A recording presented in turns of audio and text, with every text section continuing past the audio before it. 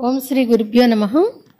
September పద్నాలుగవ తేదీ ఋషి చింతన సాన్నిధ్యం గ్రంథం ద్వారా మనం తెలుసుకోవాల్సినటువంటి అంశము జీవితం ఒక సర్దుబాటు. జీవితం ఒక సర్దుబాటు అంటే అడ్జస్ట్మెంట్. జీవితం ఒక సర్దుబాటు. తల పైకెత్తి వెళ్ళడం వలన తల తెగిపోయే ప్రమాదం ఉన్నది. మిడిసి పడుతూ నిలబడి ఉంటే చెట్టు గాలివాన్లో పెల్లగించబడడం చూస్తాము. పేమతీగ ఎప్పుడూ వంగే ఉంటుంది. అది ప్రతి గాలివాన తుఫాన్ల నుంచి తప్పించుకుంటుంది. భూమిపై పెరిగే గడ్డి చూడండి. అది గాలివానతో తలపడదు. అది గాలి వీచిన దిశ వైపే మళ్ళుతుంది. పరిస్థితులను బట్టి ప్రవర్తించే గడ్డిని ఏ గాలివాన తుఫాను ఏమీ చేయలేవు. వంగి నడవండి. మేం చెప్పిందే సరైంది అనవద్దు. మా మాటనే అందరూ ఒప్పుకోవాలి అనవద్దు. నీవే అందరికంటే శ్రేష్ఠుడవు నిర్దోషివి తెలివిగలవాడివి అనుకోవద్దు. ఇతరులు కూడా వారి దృష్టికోణాన్ని అనుసరించి సరైన వాళ్ళు కావచ్చు అవుతారు కూడా. ఏ పరిస్థితుల్లో వారు ఉన్నారో వాటిలో వారు ఆ విధంగా ఆలోచించడం తయారగుట చేయుట స్వాభావికం కావచ్చు. అందువలన ఇతరులను అర్థం చేసుకునే ప్రయత్నం చేయండి. వారి దృష్టికోణం పరిస్థితుల భిన్న భిన్నత్వాన్ని అంగీకరించండి. ఈ ప్రపంచంలోని అన్ని వ్యవహారాలు ఒకరినొకరు అర్థం చేసుకున్నటలోనూ సహించుట అనే పునాదిపై నిలిచి ఉన్నవి. సర్దుకుపోవటయే జీవితానికి ముఖ్యమైన ఆధారం.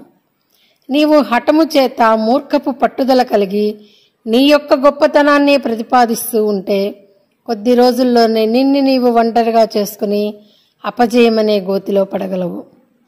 ఇక్కడ మనం అర్థం చేసుకోవాల్సింది ప్రతి వ్యక్తితో ప్రతి సందర్భంలో మనిషికి కావాల్సింది అడ్జస్ట్మెంట్. మనం ఈగోకి పోయి మనమే గొప్ప ఇతరులందరూ రాంగు. నేను చెప్పింది ఇతరులు వినాలి నన్నే గౌరవించాలి అని ఎప్పుడైతే మనం అనుకుంటామో ఇతరులను మనం యాక్సెప్ట్ చేయమో అది అపార్థాలకు దారితీసి చివరికి ఒక్కొక్కరు మన నుండి దూరం అయిపోయి మనం ఒంటరిగా మిగిలిపోవాల్సి వస్తుంది. కాబట్టి ఈగోని పక్కన పెట్టి అడ్జస్ట్మెంట్తో జీవించడం నేర్చుకుంటే కుటుంబాలు చిరస్థాయిగా సుఖ సంతోషాలతో వర్ధిల్లుతాయి. ఈరోజు ప్రజెంట్ ఈ పరిస్థితులు ఎలా ఉన్నాయంటే అడ్జస్ట్మెంట్ అనేది యూత్లో అస్సలు లేదు.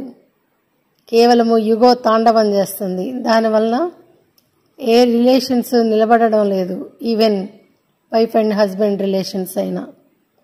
ఆ ఈగోని పక్కన పెట్టి అడ్జస్ట్మెంట్ అవతల వ్యక్తి తప్పు చేస్తున్నాడు అంటే అతని స్థానంలో మనం ఉండి ఆలోచించాలి.